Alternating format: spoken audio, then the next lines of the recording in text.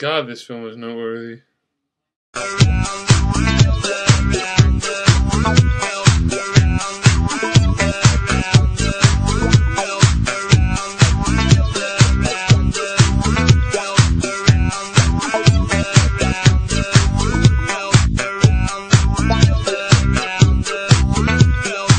Now, I only chose the song Around the World by Daft Punk because this is a story about a man who takes an adventure that takes him around the world.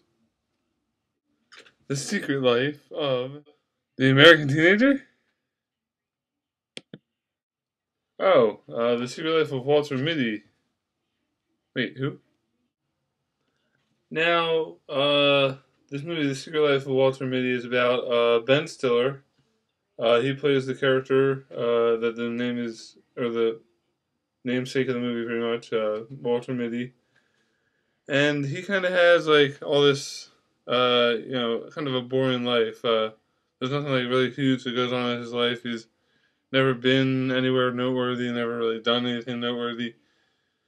And he just kind of has like this boring, mundane, kind of daily grind type of life um, but every once in a while, he kind of zones out and imagines all these dreams of greatness that he has.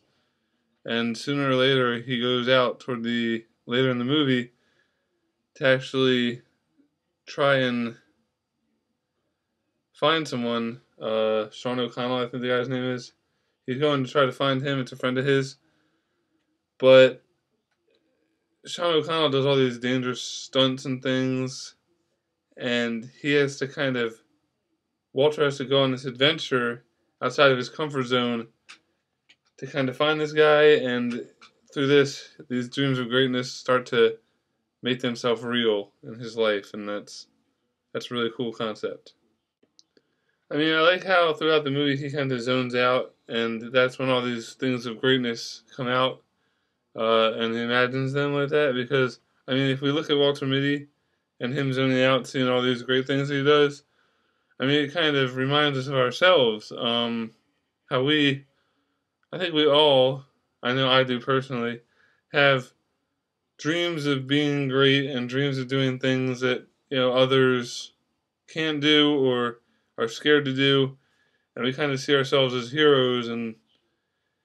and we intervene in danger and we we stand up to danger and say hey, screw you, you're danger, I'm not scared of you, kind of thing.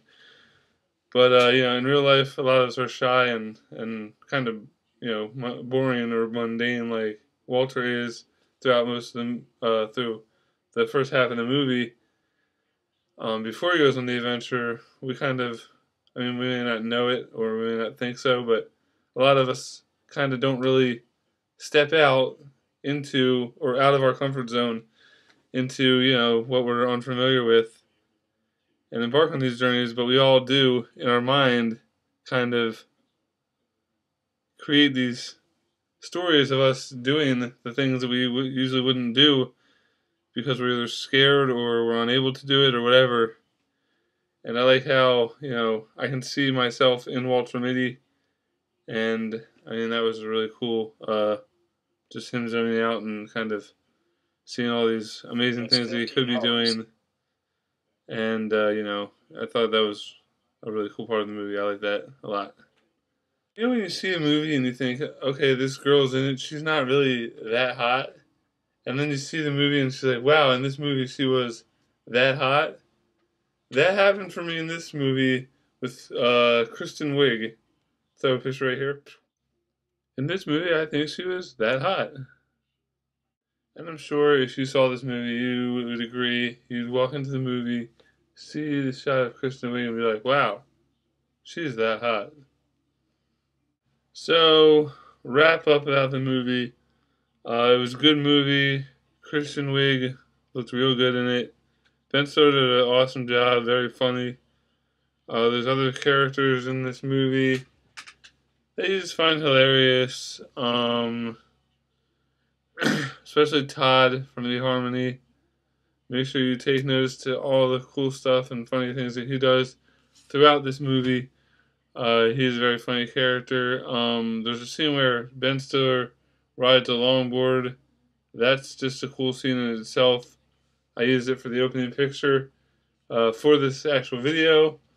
Um, if you can't go see the movie, check out all the cool scenes online. They'll probably have some of those. Um, you might even understand the opening, uh, the opening clip where I say uh, this movie was worth noteworthy. Um, there's that comes from part of the movie that I thought was uh, kind of funny, so I threw that in there. Boom. Um, also, uh, there's a cool scene. I'm going to be using a line from there at the ending. Uh, I'm going to put it down here. The ending's down there somewhere, I guess. Is what I'm trying to imply. I guess it's like a film line or something. I don't know. I'm just saying at the ending. Maybe it's that way. At the ending, there's I'm going to use a, another line from the movie. Uh, make sure you look for those. Um, in the movie, I mean, uh, you should definitely go see it. If you can't, uh, you can watch the scenes on YouTube, or you can go and uh, you know purchase it when it comes out, or Redbox, or whatever. Um, but make sure you see this movie, whether it's in the theaters or at home or online or whatever. Um, thanks for watching. I hope you guys enjoyed. Uh, remember to like, favorite, and subscribe. Thanks for watching another episode of Top 5. I will see you next time I see a movie. I have to call you back. I'm on my way to a volcano.